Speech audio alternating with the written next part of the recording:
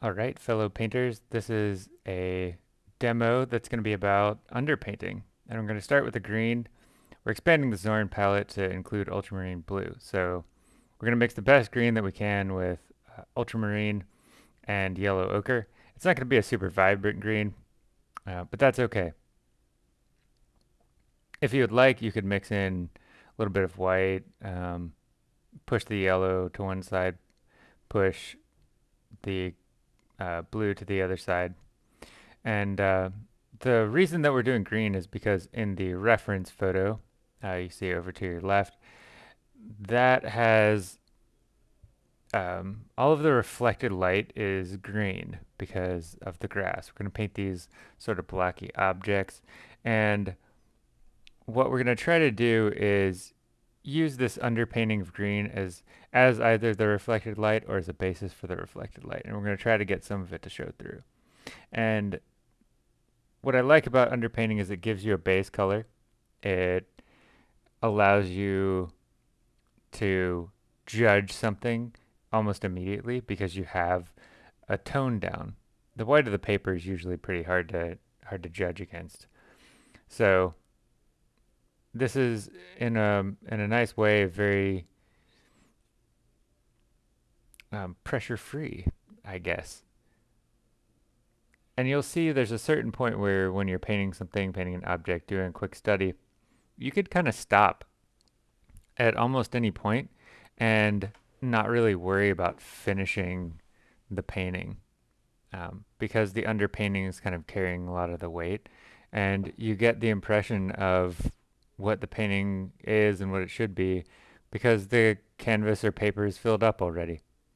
So the only thing about underpainting is that you have to let it dry. So if you're painting in oil or something like that, you need to um, wait a day or two depending on the pigments you use and how thick you go. Um, personally, I like the more opaque kind of underpainting. Some people do an underpainting that's a little transparent. I'm not a big fan. Um, just because I want a good base to build off of. So in this, I want to start by anchoring uh, the value range apart. This is kind of a dark underpainting. So I'm going to immediately go in with my lightest areas and block in the shape. It's also that these shapes on this block, uh, blocky sculpture are very obvious. So um, a little bit of yellow ochre, a little bit of white, and that kind of pretty much gets us our first color. Uh, I'm also mixing this fairly opaquely because I don't want the underpainting showing through here because it's you'll notice that in the reference the color of the block is has nothing to do with green in this one particular segment. Um, you know, you have choices over the edge handling on this. You could go a little bit soft edge, but because it's um, a blocky sculpture and it's got all got hard angular edges, I would go with hard edges. And the easiest way to do that is to run your brush stroke right along the, the edge line. And then whenever you mix up a color, um, especially when you're brush mixing like I am, you want to look for a similar color that's out on the uh, page or out on the canvas. And here there's a similar color on the lower block. Um, so I'm just going to lay that out uh, fairly quickly and take a stab at where it is. I think I'm pretty close. It's probably not exactly the right shape, but hey, you know, we're just getting started and we can refine all of this later. The other thing too is we're going to ditch the reference eventually and no one's going to see it. So all we have to do is create an interesting painting. After that, what I would, what I would do is look for um, sort of the next value down to differentiate. So there are these kind of bluish shapes on either side of this upper block. And I'm going to hit those. They're not highlight level light, but they're not dark either. So they need to have a certain amount of color in them, a certain amount of saturation, and they should probably have a little bit of white when you mix mix these out. Um, because they are kind of on the lighter side. And there's a slight color differentiation between each one. So I'm going to add a little more saturated blue to the one on the left here. Um, as you're mixing color, evaluate and think about what you put down. The more you think about what you put down, the more intentional you're going to be with the next layer. And when you think, you're analyzing, okay, did I get the right shape? Um, is that shape in the right place? Do I need to go darker or lighter with the next shape that's going to be next to the one that I just put down? Um, is it too saturated? Is it not? Sa- is it saturated enough? Like, um, so here we're going onto the this plane that sort of faces the ground and it's picking up a lot of the green of the grass. We can't really get a good grass green with the limited palette that we're using. So we're going to do something close. And because the color modulates from top to bottom, I'm going to use the underpainting in kind of the middle of this sec section and then use two different greens um, to vary the color on either side. And these greens are mostly going to read as yellow um, because they are a little bit yellow heavy. And there's also a little bit of reflected light bouncing up from the lower block onto the upper block as well. So it's kind of a complicated lighting situation. And um, I've heard it said that every every object that gets light on it is another light source. So light's constantly bouncing around from one thing to the next to the next to the next. And the blue on this object is really coming from the sky, the atmosphere. Um, in the shadow, I picked up a, a tone of violet, and so I'm going to really push that uh, to read. So I'm adding in my uh, cadmium red light and mixing primarily that and ultramarine to get this very, very saturated and rich and dark violet. Um, the nice thing about this sort of thing is the, the shapes are clear and we can do almost anything inside the shapes. As long as we get the shapes right, um, we have a lot of room to play with color and how that color can come across. Um, even on the dark side here, there's a lighter version of this violet. Um, and that's largely because you're getting a mixture of the violet shadow and the ambient light from the sky. So mixing that in, making sure that it's dark, uh, making sure that it's distinctly darker than the than the bright highlights we established first thing, I think is really important. As you go through these things, be sure to like wash your brushes fairly often, um, especially when you make big color jumps. When you make smaller color jumps, it's not a big deal, but just keep your brush relatively clean by um, rinsing it out and then wiping it on a cloth. Um, so you'll notice here this, this shadow didn't really get to the right shape originally, so I had to modify that just a bit. Um, under that shadow, there's a fairly pale blue segment here. Um, but there is a certain amount of green because it's getting some reflected light coming up in the grass. So a shape that is semi-transparent and allows some of the underpainting to come through is probably going to be preferable here. Um, there could be like an opaque section at the top. But you see how with a little bit of transparency, it's kind of maintaining some interest there.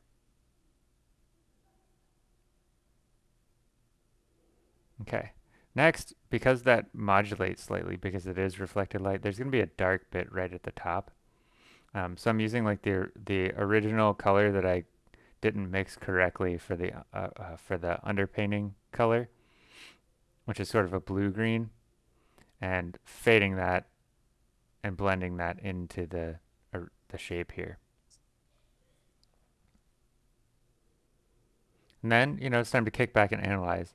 I think things are going fairly well so far because the shapes are starting to be clear and you're starting to get a sense of light direction and how light's playing off all these objects but I do need to complete more of the shapes. There's another um, blue segment of the block off to the left here on the bottom. So working with smaller brushes now, kind of getting really into it. And then there's another bit of violet on the left here where the light's glancing off a lot. And then there's another heavily reflected light area, which I'm going to basically wind up using a lot of yellow here um, uh, because it's kind of a yellow green that we're after. Um, if we were using a full palette, we would use a different yellow to get a more like vibrant grass green. But since we're using a, a an earthen palette, it's going to change things a little bit.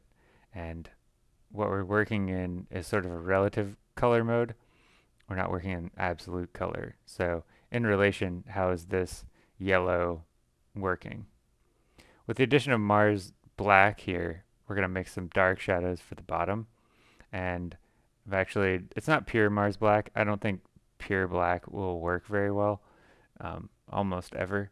So there's a little bit of blue and maybe a little bit of um, a little bit of red in there uh, to kind of relate to the dark violet that we've done already. And I know there are multiple planes in this deepest shadow down here, but I can't see the differentiation in them. So I'm going to treat them as kind of one shape that's all the same and then probably just run that shape all the way into the ground shadow as well. Because to me that makes a lot of sense. You know, you can you can lose a lot in the shadow and just allow that not to be the focus. Um, and I, you know, I wasn't happy with how dark that was. You know, it needed to go a little bit darker. So when you're painting wet and wet too, you have to remember that um,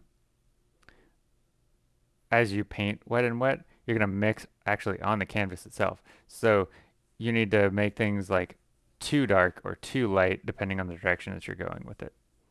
Um, and you know, be sure to always kind of like look back and and keep modifying things or keep adding areas that you didn't see or didn't just put in at the beginning because they weren't as critical or, or as important to establishing the main shapes. As soon as we put this ground shadow in, things are going to get a lot better um, because now we're saying like, hey, this is an object that gets light. It's sitting on the ground. The ground has a shadow on it. And we're to add a lot of, of darkness to that shadow, push it, uh, push it further down. Now here, we need to begin to establish the light areas, um, which is going to be, again, a yellow-green. Um, it's going to come off fairly yellow. Part of it's because of this um, underpainting is green, so um, it's kind of tricking us into thinking that this is yellower than it is because we're judging the distance off of this green. But in the end, this is gonna this is probably going to work out pretty well. And we can add a little more blue to it once this is established. And again, I, am doing this one fairly um, transparently with a little bit of glazing medium in there as well so that you can kind of see the underpainting through it. Here's where I'm kind of using the underpainting a lot.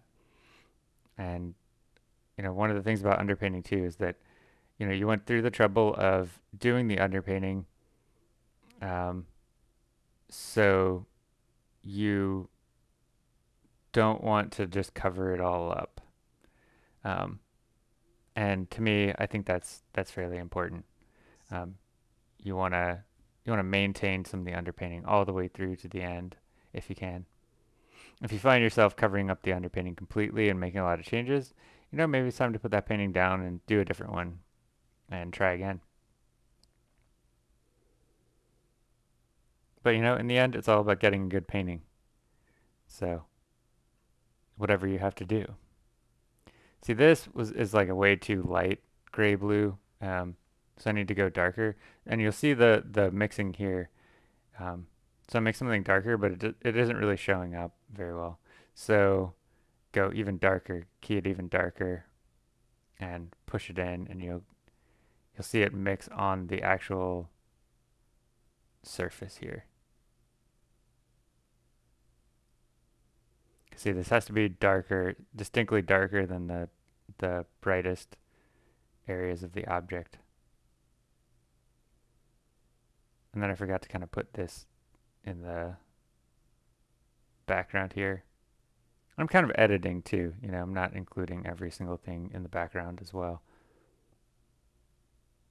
And see, that turned out too bright because it's kind of fighting some of the highlights. So coming back in, knocking that down, that's just going to help.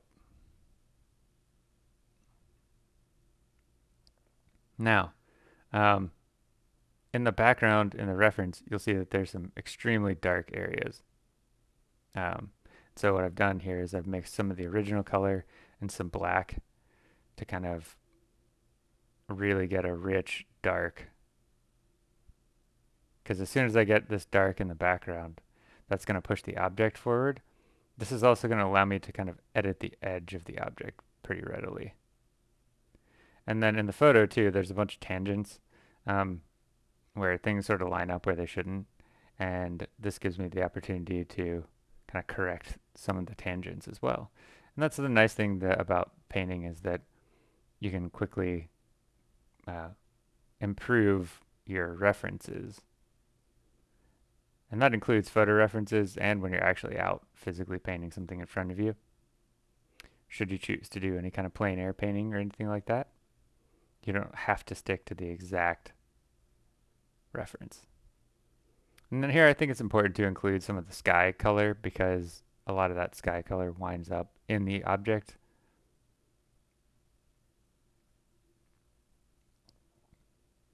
And you'll notice too that the color is getting pushed pretty heavily. You know, this is, that I could, could have painted it in like black and white and gotten something much like realistically closer, but then that's not a very interesting painting in the end. And you know, what we want is something that says something about color. And then using the building to establish a little bit of color uh, above this highlight, I think is important as well. And then we can use some of the original blue-green for this building. Because it's fairly dark but it is like related in color to everything because this building's picking up a lot of reflected light from everywhere. And I don't have to get into any specifics of the architecture, again, because this isn't an architectural study, this is an object study. Just happens to be a big outdoor object with architecture surrounding it.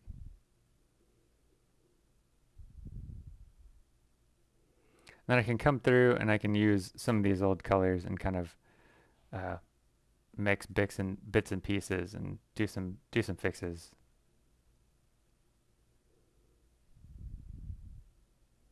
And I wouldn't consider this to necessarily be like perfect and done. You know, if I wanted to get a really finished object piece, like I could probably spend an hour or two on it. Um, but spending an hour or two on it in terms of the demo isn't going to add a lot for you. Um, so give this a shot. You know, nothing means anything until you try it for yourself. So have fun painting objects and push those colors as far as they can go.